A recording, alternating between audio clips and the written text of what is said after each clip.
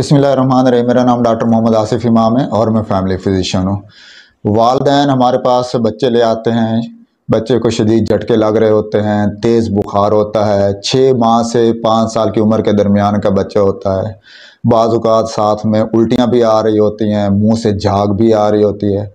और बाज़ात इतनी देर हो चुकी होती है या इतनी शिद्दत के झटके होते हैं कि गज़ा के जो पार्टिकल्स हैं, जो मैदे की गज़ा है, वो सांस की नाली में जा चुकी होती है। इस बीमारी को हम फेब्राइल फिट्स कहते हैं या शदीद बुखार में झटके लगना कहते हैं।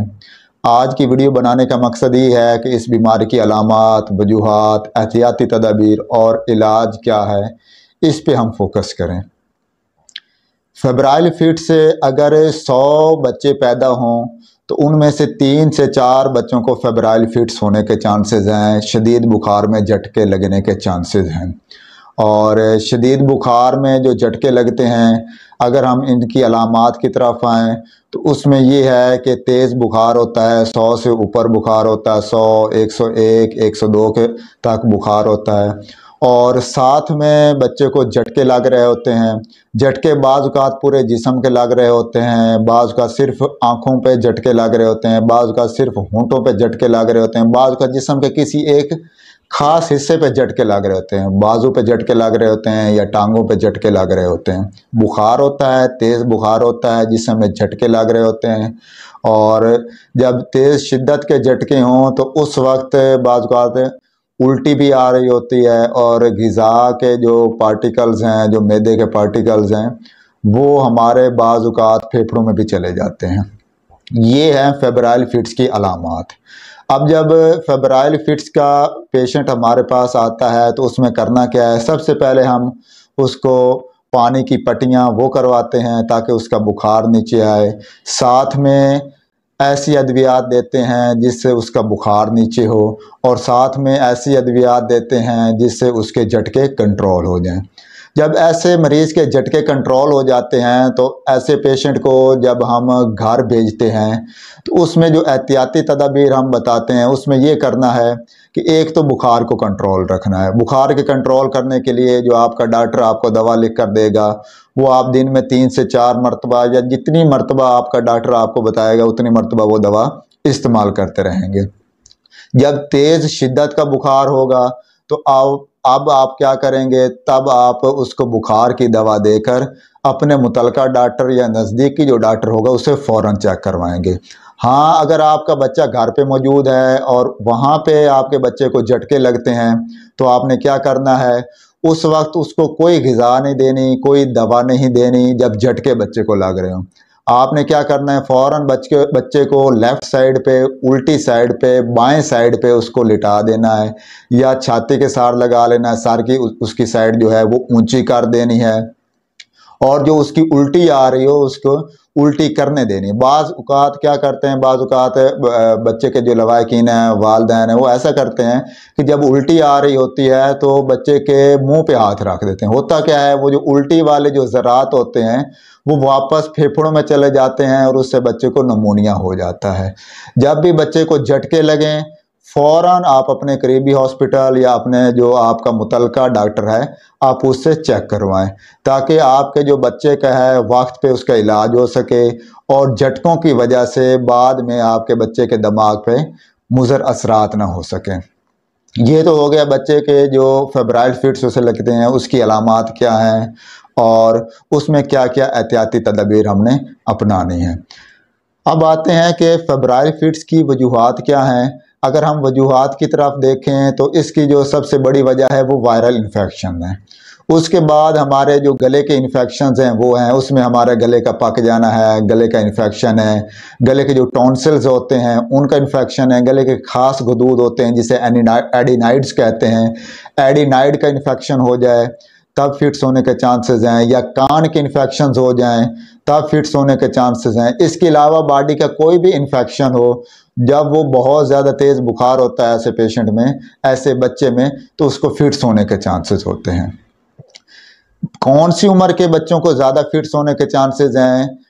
छः माह से पाँच साल की उम्र तक के बच्चों को फिट्स होने के झटके लगने के ज़्यादा चांसेस होते हैं। तेज़ बुखार के साथ झटके लगने के चांसेस ज़्यादा होते हैं। पाँच साल के बाद भी हो सकते हैं, लेकिन बहुत ही रेयर केसेस देखे गए हैं।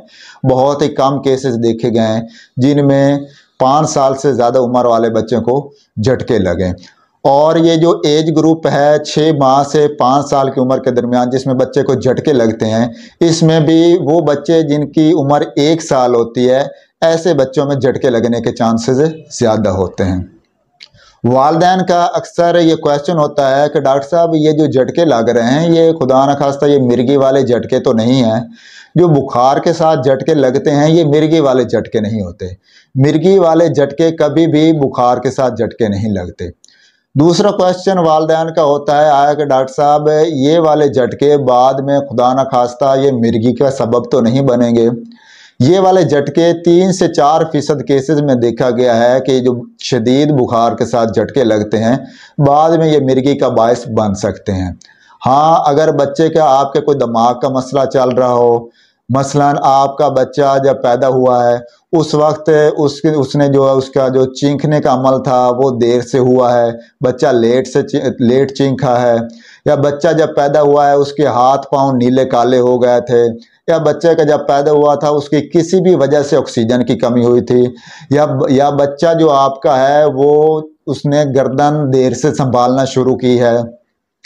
ये वाले वामिल हैं, जिनमें अगर फेब्राइल फिट्स हों, बुखार के साथ शदीद झटके लगें तो बाद में मिर्गी होने के चांसेस होते हैं। और भी वजूहत हैं, जिसमें बुखार के साथ शदीद झटके लगे हैं तो उसमें मिर्गी होने के चांसेस हैं। उनमें ये है कि वो बच्चे जिनकी उम्र एक साल या एक साल से कम है और उन्हें शदीद किस्म के झटके लगते हैं उनको भी बाद में मिर्गी होने के चांसेस होते हैं। ऐसे बच्चे जिनके ख़ानदान में मिर्गी का मिर्गी का मर्ज चल रहा होता है मिर्गी की बीमारी चल रही होती है और उन बच्चों में अगर झटके लगें उन ल, उन बच्चों में अगर बुखार के साथ झटके लगें तो उनके उस बच्चे को मिर्गी होने के चांसेस हैं और उनका चांस 15 से 20 फ़ीसद तक बढ़ जाता है। नेक्स्ट क्वेश्चन वालदेन का होता है कि डॉक्टर साहब, ये बुखार के साथ झटके लग रहे हैं। आया कि ये गर्दन तोड़ बुखार तो नहीं है, असल में गर्दन तोड़ बुखार में भी इसी तरह बच्चे को झटके लगते हैं।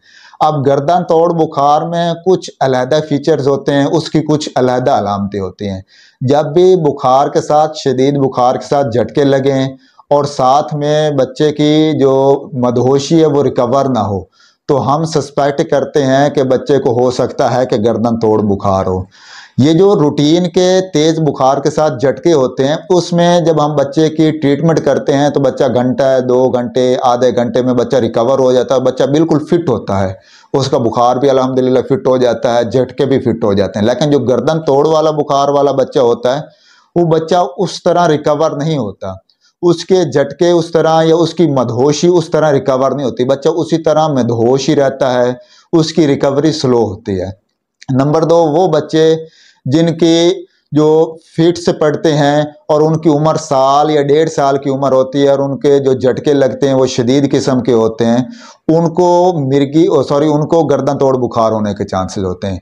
या वो बच्चे जिनके बुखार की हमें कोई वजह नहीं मालूम हो रही होती, आया कि उसके कोई गला ख़राब होने की वजह से बुखार है, आया कि टॉन्सिल्स की वजह से है, आया कोई चेस्ट इन्फेक्शन की वजह से है या कोई पेशाब के इन्फेक्शन की वजह से है, इनमें से कोई वजह ना मिल रही हो तो फिर हम सस्पेक्ट करते हैं फिर हमें इस चीज़ का शुभ होता है कि ये कहीं गर्दन तोड़ बुखार तो नहीं है, फिर उसके कमर के पानी का टेस्ट कराया जाता है।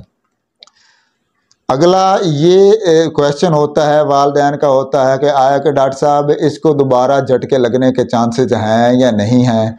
उसमें वो बच्चे जिनकी उम्र एक साल से कम है या साल, एक साल तक है और पहली दफ़ा उसको जो झटके लगे हैं, वो बुखार जो उसका है, वो ज़्यादा नोयत का है, सौ, एक सौ दो, एक सौ तीन, इस पे है तो उसको दोबारा झटके लगने के चांसेज हैं। अगर उस बच्चे के फैमिली में किसी कज़न को झटके लगते हैं तो ये उसको भी दोबारा झटके लगने के चांसेस अगर फैमिली में मिर्गी का मार्ज है तो उस बच्चे को दोबारा झटके लगने के चांसेस हैं।